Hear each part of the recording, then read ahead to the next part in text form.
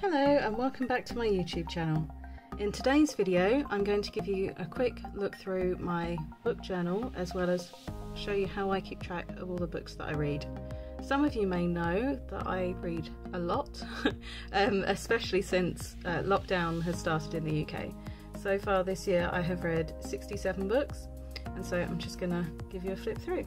So my journal planner cover is custom made from Lewis and Louisa um, and so this was custom made for me in this sort of really lovely green galaxy style with gold splatters on there.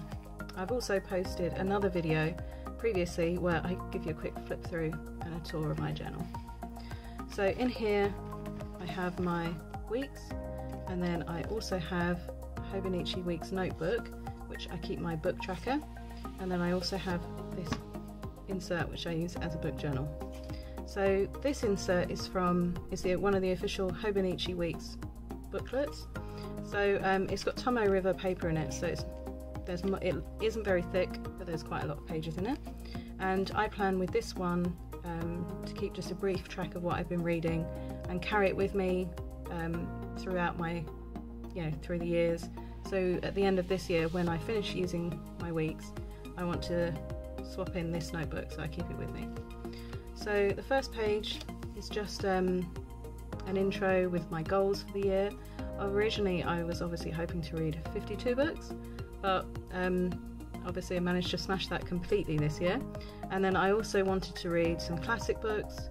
I'm a member of a book club on Facebook that I help to run, so I wanted to um, read one book a month with them and also read some new authors as well. So people I, get really stuck sometimes um, in reading just the same things by the same authors over and over again.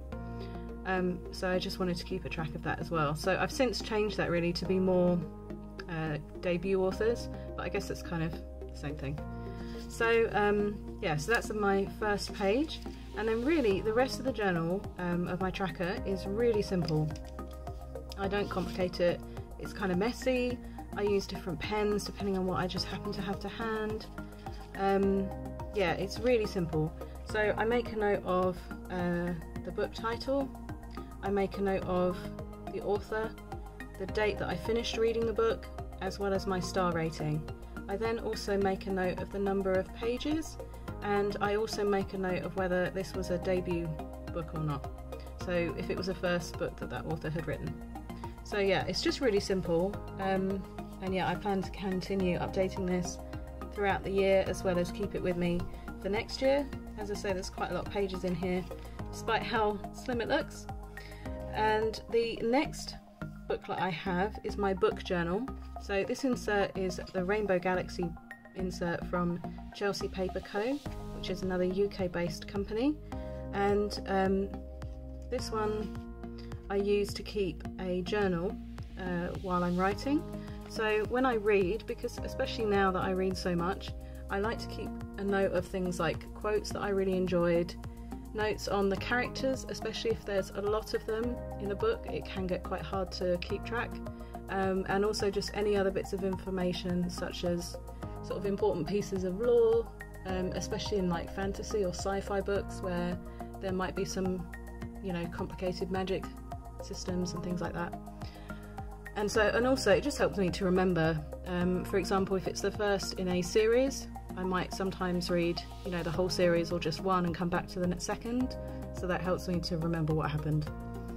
So my first page in here is just contents just so that in future because I'm sure I'm going to fill this up soon um, so when I come back to it I can just quickly see what's in this book. So again is really nothing fancy like I'm a really minimalist planner so um, yeah, it's just literally the date that I started the book and the date I finished it. So you can see some of these I read in one day. so, um, and then for each of the books that I read, I print out just a nice picture of the cover and stick that in. Um, I also then write the title and the author along the side of the page on the edge, as well as I can make a note of the page numbers, the date that the book was published, when I started and finished the book and also my rating. And then as I say, as I go through, I just make some really brief notes about quotes um, and things about each book.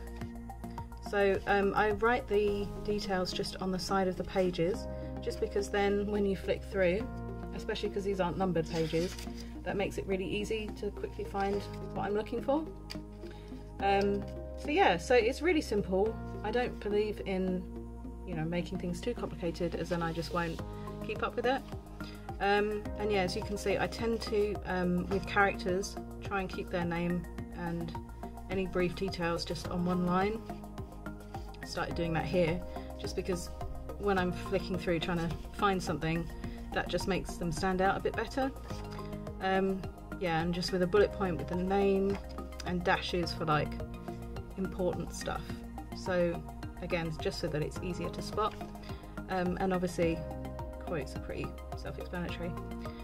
Um, so yeah, it's really, as I say, really simple, but I find that works really well for me. Um, and I just really enjoy doing it as well. It's quite relaxing to do when I read as well. Um, so yeah, so that's a flip through of my book journal.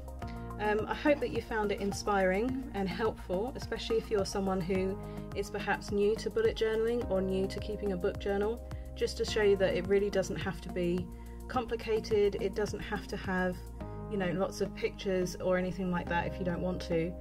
Um, it's totally fine for you to have a journal that's simple and that just works for you.